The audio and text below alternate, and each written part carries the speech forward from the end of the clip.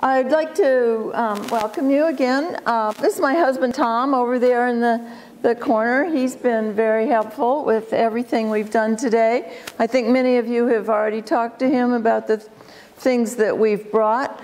Um, unfortunately, these are not rocks that are full of gold, but um, I wanted to show you these. They do have little flakes of mica that are very small and um, typical of the kind of gold you might find if you were luckier than I am. So that's why I brought those rocks because they're, the gold in this area was, was really found in the form of gravel, not nice big chunks, right? And many of you know more about um, finding gold than I do, and I'm really not going to talk about gold per se. So if you're very disappointed, the only gold I brought is in chocolate. So, um, what I'm interested in more than the geology and more than the coins and more than the mint is the stories that people have told about what happened here, what life was like during the North Carolina Gold Rush. And I will show the documentary that UNC Television made in 2012. And that does focus on the Bechtlers and on the mint and on the impact on the economy of what Bechtler did here. But, but I'm really going to focus on before Bechtler. Um, I'm going to introduce you to two men. One of them has written a book that I brought with me. His name is George Fanshawe, and it's spelled Featherstonhaugh. He was an English geologist, and he came through Rutherford County in 1837. And bless his heart, he kept a journal. And his is the most complete description we have of what life was like in the foothills during the gold rush. And I'm going to read you quite a long excerpt from that book, unless there's anyone here from England. Is there anyone here from England? I would love to have someone read this as it should be read. The other person I'm going to introduce you to is Roswell Elmer, Jr. And Roswell Elmer Jr. was a very young man. He was a printer in Charlottesville, Virginia, and he caught gold fever. And he went to North Carolina. And bless his heart, he kept a journal too. And that journal is in the collection at the University of North Carolina in Chapel Hill. It's very difficult to read, it's all handwritten. Um, sometimes he was writing in the stagecoaches as he moved from town to town. But it is a different perspective. It's a very personal perspective from a young man who thought, I will seek my fortune in the gold fields. And his realization over the next several weeks that it wasn't going to be quite that easy. And so I'm going to read you another excerpt from that. I'm sorry to have to read you this, but no one else has told you these things. Um, and so I think these people really deserve um, credit for having recorded their experiences here. Um, I've also um, put out on the table, and perhaps some of you saw reprints from a few pages from the newspaper that was published here in the 1830s. They are a wonderful source of color for the details of what life was like in, uh, in Rutherford County at the time. So that's about what I want to say before I show you a few slides, if we can, I think this, yes, this is on. This is, drawing is actually, am I in your way? You can see. Um, drawing is from a cover of a book called Gold in North Carolina, but I colored it. I thought it was more fun than the edge. For those of you, who's not from Polk County? Did people move here from somewhere else? Most of us.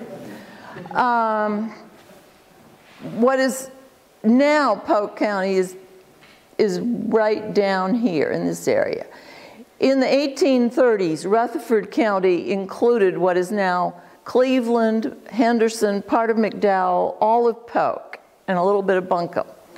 And then over the next, between 1830 and 1850, they created a great many more counties as more people came into the area. And I just thought it would be good to locate you in space and time. So when I say Rutherford, that included this area at that time. Um, and I was looking, there's a map in the back of the room, which is the first map made of Polk County.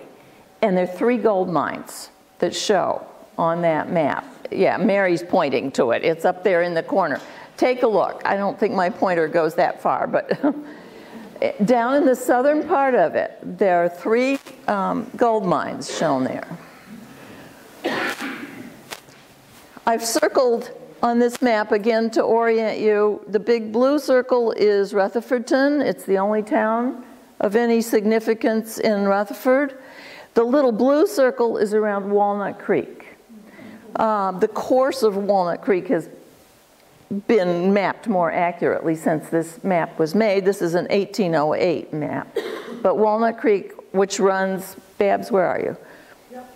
It runs right back down here. Yeah, two and a half miles So we're on the map here as early as 1808. Travel was very difficult in um, the 19th century. Um, it took, this is one of the ads that I've recreated out of the newspaper. It took three and a half days to get from Winston-Salem, North Carolina, which was Salem in those days, to Greenville, South Carolina. Three and a half days. Only cost you five cents a mile, but it, um, the Tate's Hotel was in Morganton. Oh, I have to go back to this ad. If you've seen the Viking River Cruise ads on PBS, this just said, the stage line passes through a romantic and healthy country, yielding all the bounties of nature. It passes through the bosom of the gold region of western North Carolina. Doesn't that sound like a Viking cruise?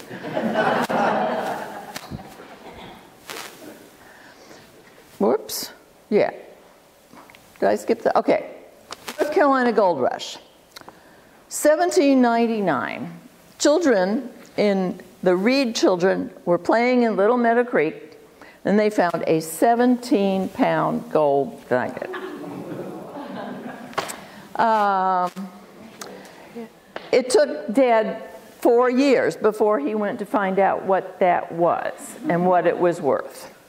But once he discovered what it was worth, he began to look for more. Uh, and then when people found out that John Reed was finding gold, everybody began to look for gold in North Carolina.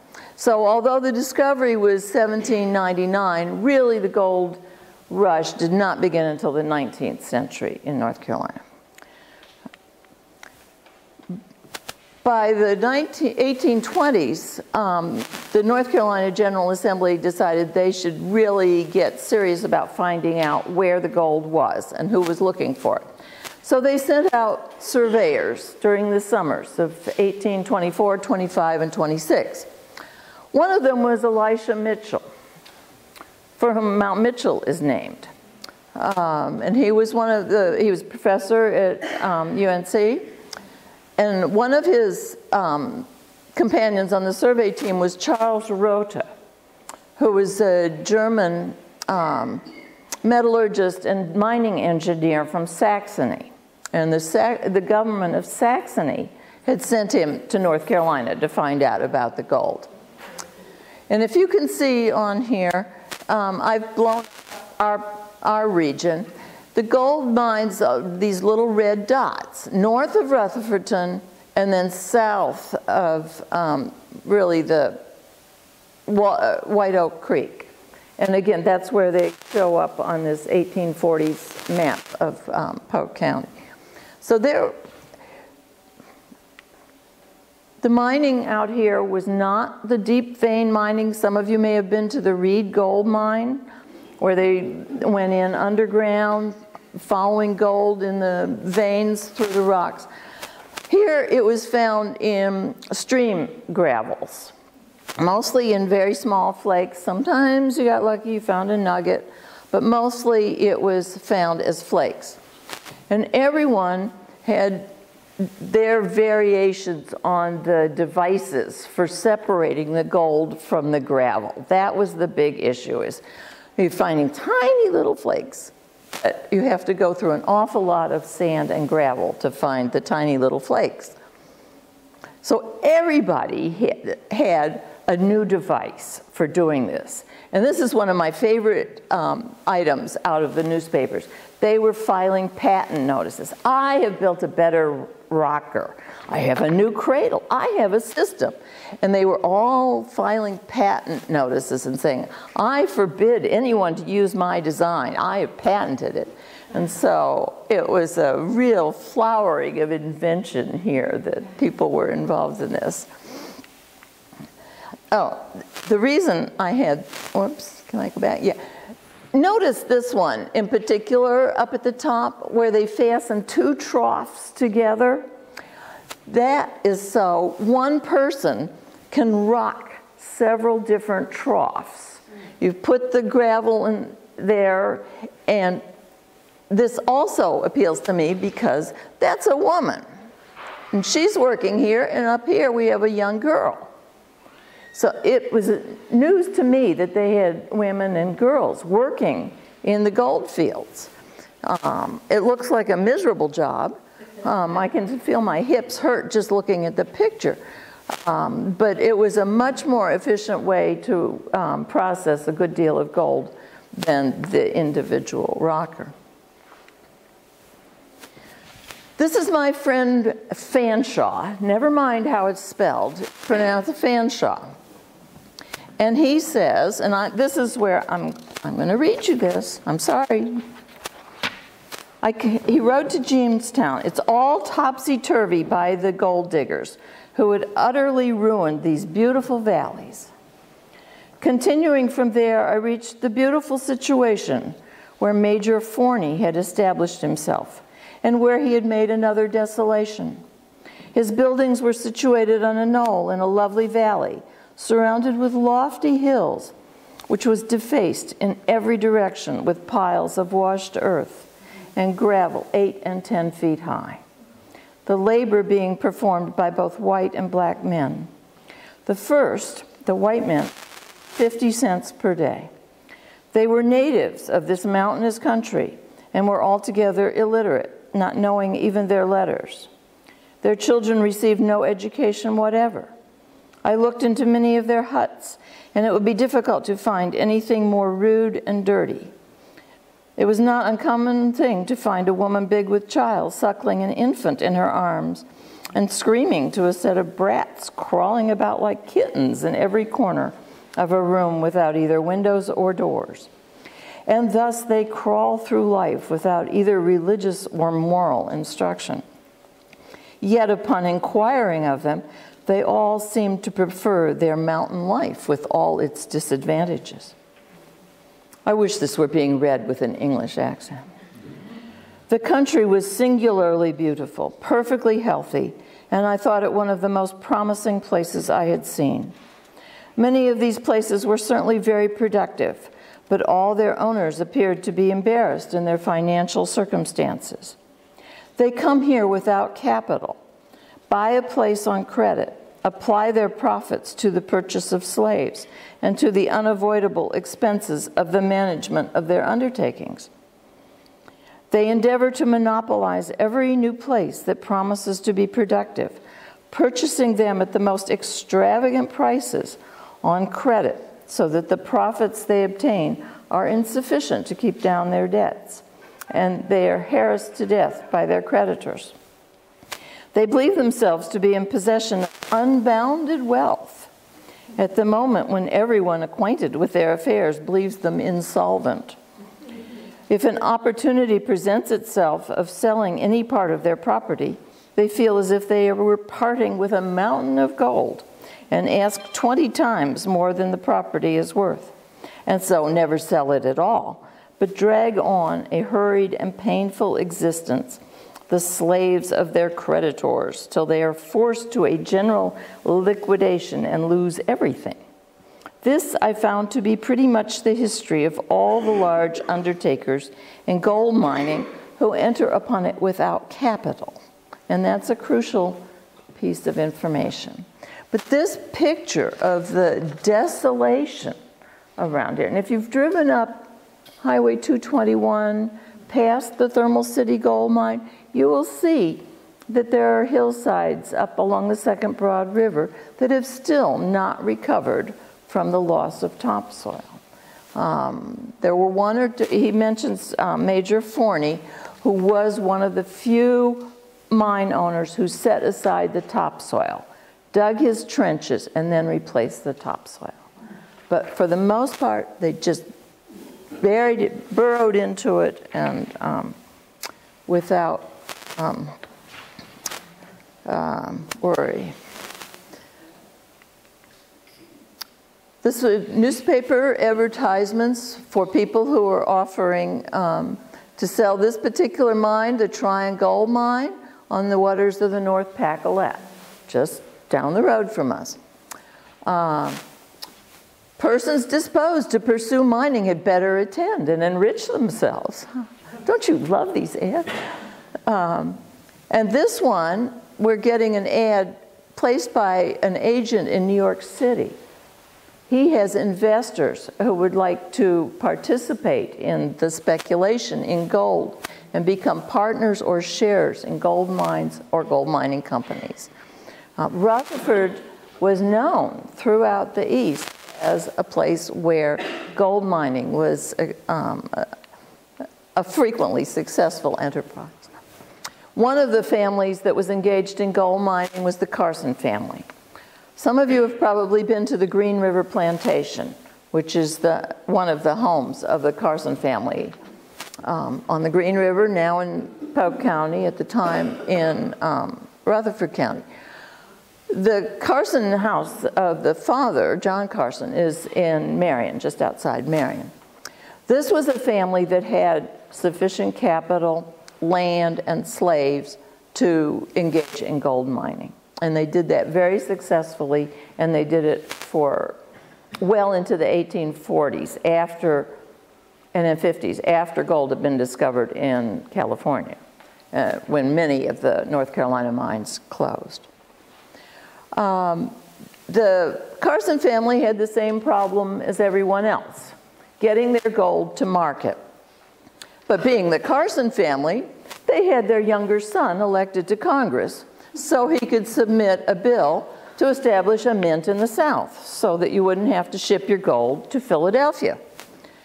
Well, Samuel Price Carson introduced this bill at least three different occasions. It never got out of committee. But he proposed that they um, establish a, an assay office and a mint in the South because it was such a challenge to get your gold to Philadelphia. Um, he never succeeded. So this is where I'm going to end. That particular part was with the frustration that the miners had with the um, lack of market. And I'm going to go back to the two men I told. In 1829, in the fall, Roswell Elmer Jr. starts his trip from Charlottesville, Virginia, to North Carolina to pursue his dream of mining. At the same time, almost exactly the same time, Christopher Bechtler left his home in Pforzheim and um, sailed first to New York, and then he quickly went to Philadelphia, where he applied for citizenship. And uh, I, I just think that these two men, both coming from different directions, were drawn to Rutherford County because of the gold. And neither one ended up doing what they thought they would do. Christopher Bechtler is 48 years old. He was a successful jeweler, a clockmaker, a gunsmith, and he's described in legal documents as a factory owner. His family business was making jewelry. I put on the table there a book uh, about Pforzheim Bechtler had attended the Technical Academy for jewelry and clockmaking. It was known throughout Europe as the source of fine um, watches and clocks. When he left, he put an ad in the German newspaper saying he was selling his office building on the marketplace. He sold his carriage and his horses. One of the things we have learned since the documentary was made um, from the editor of the newspaper in Pforzheim was that Bechtler had filed much earlier a patent application for, guess what? A machine for separating gold from gravel. And he got permission from the Grand Duke to test this machine. The, his results were very disappointing. He mined, had mined, 17,000 kilograms of sand and gravel and found a gram of gold, one gram of gold. Well, that's another level of frustration. Plus, it took him six years to get his patent approved by the bureaucratic process. At the same time he was having all this frustration, the discoveries of gold in North Carolina, it, whoops, where we are. There. Um, North Carolina gold, right? Is that, can you read these old um, German for me? um, um, the discovery of gold was being widely reported in Germany. If you remember, Charles Rothe was part of that survey. He was reporting on his findings in both English and in English journals and in um, the German press.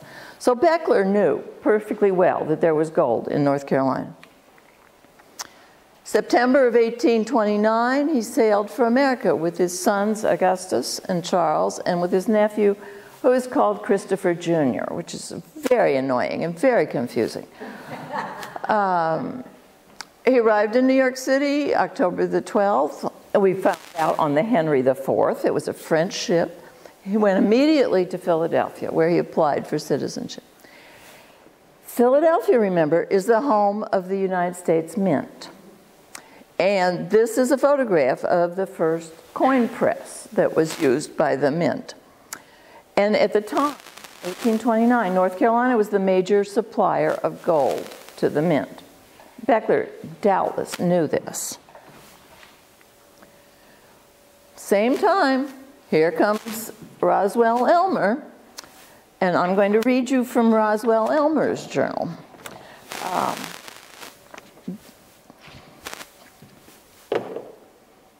you have to remember he's very young. He's 20 years old.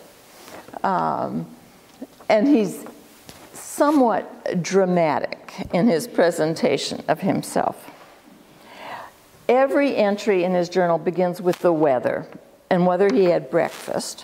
What, I mean, as he goes through his, um, his journal, he's also always interested in whether he meets any girls that day. So it's, it's interesting. Charlottesville, Virginia, August 29, 1829, Saturday. This morning at 2 o'clock, I was awoke and, in furtherance of my plans, took the Richmond stage from George's Tavern in Goochland County, Virginia, thence to take the southern stage for Salisbury, North Carolina. It had been constantly raining every day, and rain was falling in torrents. Nothing but my fixed determination in my plans would have forced me out in this confound but I must win or lose and try my venture. Shining dust is scattered o'er the ground. He says that over and over again. Shining dust, and you will see that later on. And I go with high hopes of success and happiness that will reward my present pains and sacrifices. I have some misgivings, but I was ever a son of hope and this it is that now supports me. I must shine at something higher than a journeyman printer. But should I fail, my skill in my own profession will keep me from want and penury. For two weeks, he travels through the um, and visits gold mines in um, North Carolina. So he stops in around Greensboro, he stops in Statesville, he stops in Lexington, and everywhere he goes, he talks to people about their experience with gold mining. And um, he had trouble finding horses to borrow. Um, it rained. He was discouraged. And so by September, 13th. This is what he had to say. He'd gotten to Lexington, he was starting out for Lincoln. He said, This morning I repacked my trunks with a determination to quit all idea of gold and take the stage for Columbia. I did not find the gold so plentiful as I had imagined, and much more difficult in obtaining it. And I thought I might better follow my own business than expose my health and little money in a business so foreign to all my knowledge and experience. To get in the water half leg deep, like the other miners, would ill serve my health. And were I to lease, I could not reckon upon any profits, but stood in much danger of loss. With one or two exceptions, those who had leased mines were leasing again to the laborers for a portion of the proceeds. And in many cases, these laborers were not making enough gold to pay their board, but were induced to push on by the same spirit of gold fever, which has so excited many others. And then he ends that paragraph, but shining dust is scattered o'er the ground. So he goes back and forth in his journal from day to day. Um, Today I'm discouraged, but I met somebody who got me all fired up again. So, um, young man. Should I fit? Yeah, his, his diary is very hard to read, and it gets worse as it goes on. Uh, by September 27th, I had become sick and tired of looking at gold mines, which, if any good, were taken up. At any rate, I feared to cast the die. So he goes back to plan B. He, was, he is encouraged by people in Rutherfordton to start a newspaper. And one of the conditions is you must get 200 subscribers. So he travels around trying to get subscribers for his newspaper. He ends up in Tate's Hotel in Morganton. Remember the little ad for Tate's Hotel? where people going to the gold fields could visit. Well, he spends the night in Tate's Hotel. He was glad to get a shelter and a warm fire, for I'd been riding all day in the rain. It's still raining on him. One of them, the stage came in about eight, in which were two German passengers. One of them just from Germany who professed to be acquainted with the gold mines of that country and says that he can make a machine for $30 that would wash 300 bushels of grit per day and save it all. This has got to be Christopher Bechtler. The man who spoke no German, he spoke no English, he had an interpreter with him from Philadelphia. He's never named. But this, there's just too many coincidences to be anyone else. This is not a picture of what happened. It's just a picture I found that I thought, that must be what it looked like. Bechtler buttonholing, everyone saying, I have a machine that will wash gold better than your machine. So Elmer's plan B, he starts a newspaper. If he had not started this newspaper, we would only know just a fraction of what we now know about the gold situation in North Carolina, or in the foothills in particular. One of his editorials says, gold is disseminated in every stream and rivulet in the county, and they have discovered new mines in the waters of the Pacolet and White Oak rivers, right down the road from us. He wrote, he never lost his interest in gold. Um, this he found people saying that um, the pursuit of mining tends to retard the prosperity and moral happiness of people groveling for the metals. But in this area, what are the facts? Well, it serves the interests of farmers. They have a new market. They can get paid for their um, produce. And guess what they're being paid in? Shining dust. Here we are again.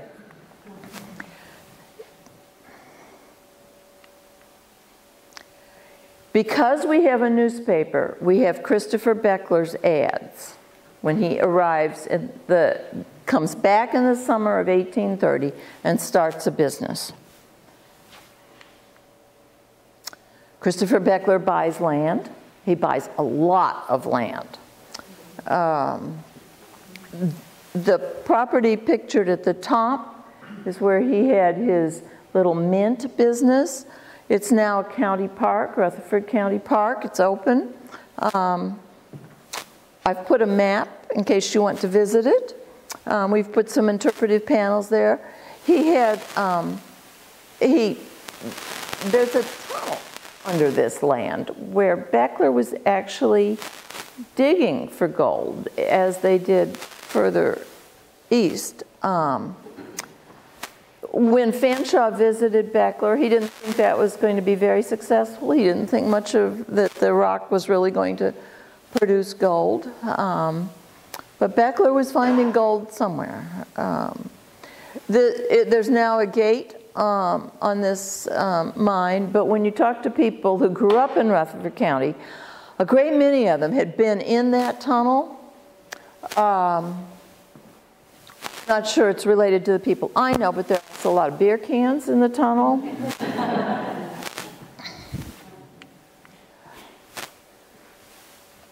Eventually, Congress did see the merit in putting a mint in the South, and they built the Charlotte Mint. They put one in Dahlonega, Georgia. They put one in New Orleans. At that point, Bechtler's business fell off, and he moved into town and he built this house in 1838 in Rutherfordton. It's open as a museum. Um, there are exhibits there, and um, Bechtler's original coin press, which looks amazingly like the coin press in Philadelphia.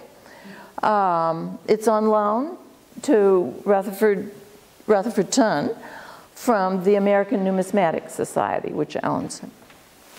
Um, so that's open, the hours, it's Friday, Saturday, and Sunday, limited hours. But we can make arrangements for you to tour this at other times if you get in touch with us.